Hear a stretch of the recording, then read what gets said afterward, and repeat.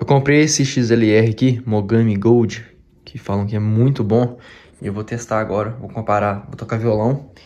É, comparar aqui, eu tô usando o meu Neumann KM184. E vou comparar com o meu XLR antigo, tá bom? Tá indo direto pra, pra interface ali.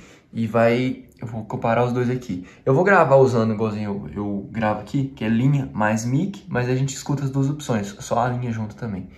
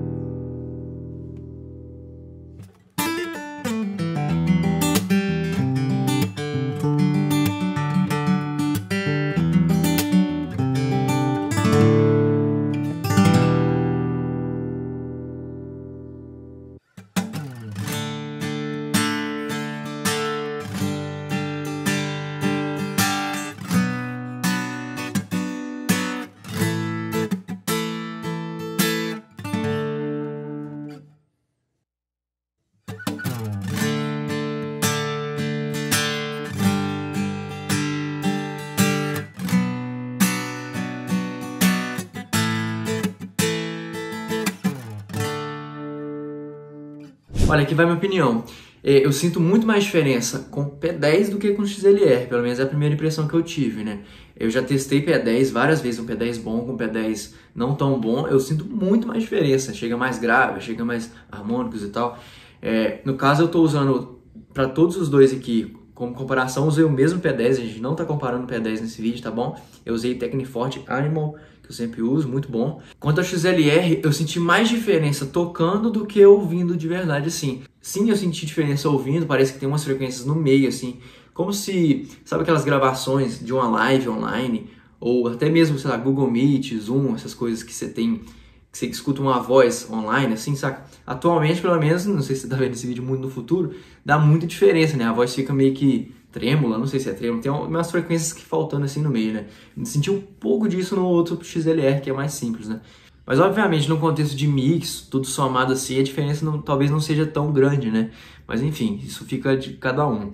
É, eu prefiro ir sempre evoluindo tanto a parte técnica quanto a parte é, musical mesmo também, né? E é isso, galera. Espero que vocês tenham gostado. Um grande abraço.